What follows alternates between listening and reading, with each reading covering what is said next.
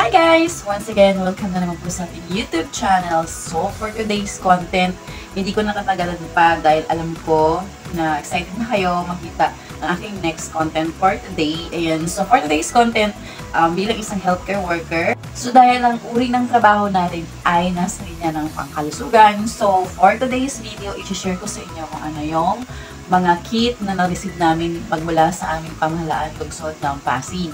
Ayan, so bilang isang healthcare worker slash um, Pasig City Health Aid, ipapakita ko sa inyo guys kung ano yung mga product na binibigay sa amin or ano yung mga magagamit namin sa pang-araw-araw bilang isang healthcare worker. So ngayon, ipa-product review po natin kung ano ang laman ng ating OB bag. Ayan, so OB bag meaning ito po yung mga first aid kit na nandito. So nakalagay po dito lahat kung ano yung mga dapat gamitin kapag merong sakuna or emergency. Uh, so, syempre, um, bilang isang healthcare worker, dapat palagi tayong handa sa oras ng sakuna. Hindi lang naman sa oras ng sakuna, at all times dapat. So, tara, iba product review na natin kung ano yung laman ng ating OB bag. So, ito pong OB bag na ito is from the city government ng Pasig. Sa health po, sa health city government po ng Pasig. Which is binibigay po sa amin isa-isa bilang isang healthcare worker titingnan natin kung ano yung laman nito. Ito po ay nakakatulong sa ating pang araw-araw. Bilang isang healthcare worker, kailangan meron po tayong uh, kaalaman or dagdag na kagamitan para matugunan at masolusyonan ang pangailangan ng ating komunidad or sa community. So ito yung way natin kung paano tayo makakatulong sa ating community bilang isang healthcare worker which is assigned sa mga health centers. So I hope na sa ibang local government meron din pong ganito. Ayan, so tara tingnan natin guys kung ano yung mga laman nito ha. Kung paano natin ito gagamitin at kung ano yung mga functions ng mga laman nito. So ayan, of course, bubuksan na natin ang ating bag. Ayan. So napakaganda po yung design guys. Sobrang madali lang siyang mabuksan. At times of emergency, hindi ka mahihirapan na magbukas nito. So, una po, meron po siya alcohol. Ayan, so, ayan yung alcohol. Nakalagay po yan ito sa ating coffee bag. Ayan, so, pangalawa naman is thermometer. Ayan, so, ito yung thermometer. So, nagagamit na natin po ito bilang isang pagmumonitor ng body temperature ng isang taong may lagnat or may sinat. At hindi lang naman po sa may sinat or may sakit, lalo na sa mga baby, pwede natin itong magagamit. So, digital po ito guys. So, ang pangatlo na pangailangan is uh, pulse oximeter. Ayan, so ito po yung ating pulse oximeter guys. Ayan, as you can see, yung pulse oximeter natin. So, ang gagawin dyan is ilalagay lang po natin yung ating uh, mga daliri at mamomonitor na po dito kung ano yung ating heart rate at heart rate. Ayan, at saka yung oxygen level ng ating katawan. So, napaka-importante po ito uh, na gagamitan lalo na sa mga matatanda na pwedeng ma-monitor ang kanilang heartbeat at ang kanilang oxygen level ng kanilang katawan. So, tara. So, dapat guys, alam niyo po kung ano yung mga tamang oxygen level at saka, saka heart rate ng inyong mga puso. So, maigi po na alam niyo po kung ano yung normal range.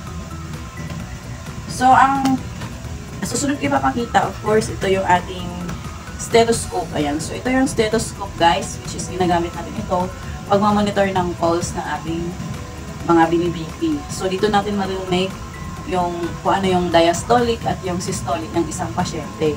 Ayan. So, mahalaga po ito na kagamitan bilang isang healthcare worker.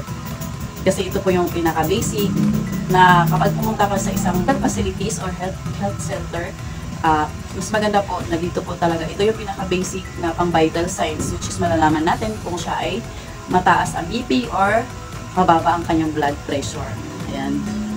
So next naman natin ipapakita guys is that yung Ayan, so sphygmanometer. Ayan, so familiar naman kayo dito sa sphygmanometer. So ito po yung pang BP natin. Dito po nag-base yung ating blood pressure. Ayan. So kung tayo ay merong normal pressure at uh, hindi abnormal ang ating blood pressure and kung mababa ang inyong blood pressure or mataas. So, ito po ang sphygmanometer. Ayan, so, ito po yung nakalagay din sa ating OB bag. Ito po ang pinaka-importante at pinaka-basic na pang vital signs. Ayan, so partner po niya ang ating stethoscope. Ayan. Next na ipapakita ko sa inyo guys is that ating betadine. So ano ba yung use ng betadine guys? Kapag may sugat tayo, ito po yung ating ilalagay. So pag first kit po ito, yan. Ito po yung use ng ating betadine. napakahalaga po ito sa ating first aid kit lalo sa pang emergency or kung saan saan man tayo mapupunta. So, dapat meron tayong ganito palagi bilang isang healthcare worker. Po tinatawag micropore. Ayan. So, mahalaga din po ito na panggamit na pandikit sa ating sugat. Hindi po kung ano-ano lang po na pandikit ang gagamitin natin ha. May pandikit ng papel, may pandikit ng kung ano-ano. So, ito po ang akma na pang medical na pangdikit. Ayan. So, micropore po ang tawag dyan, guys. Ayan. Naka-sterile na rin po ito, kaya ito po ang dapat natin gamitin gaya doon sa benda at pandikit ng ating mga sugat. So, meron po tayong, ayan, so meron pong band-aid na rin nakasama. So, ito po ang pinaka-first aid po talaga, lalo na kapag mga minor, mga minor na sugat sa ating mga katawan. Ayan, so minor ones po, ito po talaga ang pinaka-first aid na ilalagay natin. So sa ating OB bag naman po, may nakalagay na battery. So, yung battery, ito po yung uses niya doon sa ating mga equipment na katulad ng thermometer at saka doon sa pulse rate or pulse oximeter. So, baka magtaka po kayo kung bakit merong battery dito sa loob. So, ito po yung ikakabit para mag-functions po yung mga uh, gadget na binibigay sa atin. And of course, meron din po ditong, ayan, so ito po yung bandage. Ayan, so pang band bandage. So, ito pa yung pang, pang bandage kapag ano yung halimbawa may mamalak may malaking sugat. Ito po yung bandage. So, ito po yung panlagay sa sugat. Kapag malakihan na yung sugat, so kailangan na po ang ganito. Pang first aid po siya para hindi ma-expose yung sugat sa mikrobyo at of course yung pag-agos ng dugo, pinipilan po dito. So guys, ang susunod ko po ipapakita is that yung uh, sterile gas dressing. So ito po yung ginagamit niya. Again, para hindi po ma-expose sa microbio ang sugat.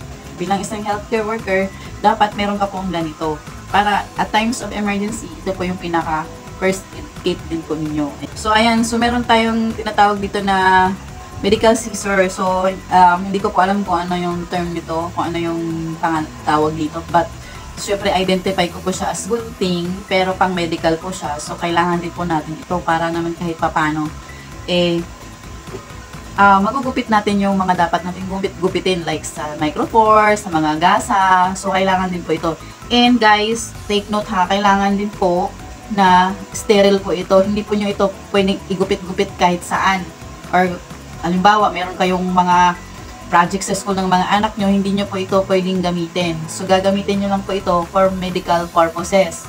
Kasi hindi po siya pwedeng madumihan at hindi po siya pwedeng uh, ma-expose ng mga mikrobyo at sa mga virus. So talagang time to time, dito lang po talaga ito nakalagay. At gagamitin nyo lang po ito kapag halimbawa, nag-assess na po kayo ng isang patient na may sugat or kung ano-ano pa ha.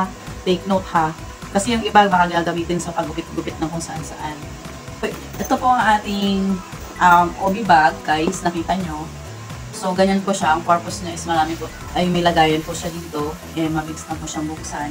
And then yung purpose ng loob niya, dito, dito nyo po isisiksik yung alcohol, yung mga gasa, at of course, yung, um, dito po yung stigmanometer, and yung pang-BP, and yung, uh, yung pulse oximeter dito po.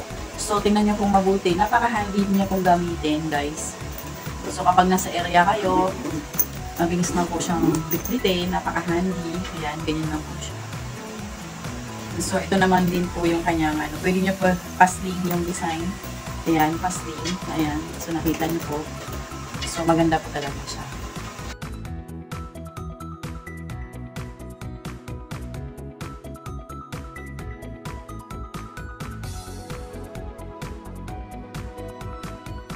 Ayan guys, so sana may natutunan na naman kayo sa aking panibagong videos for today. Pabagong punta lang po sa aking YouTube channel, don't forget to hit the notification bell para kayo updated sa aking panibagong videos na i-upload. Thank you so much guys at Huwag na wag na wag niyo pong kalimutan palaging manalangin at mag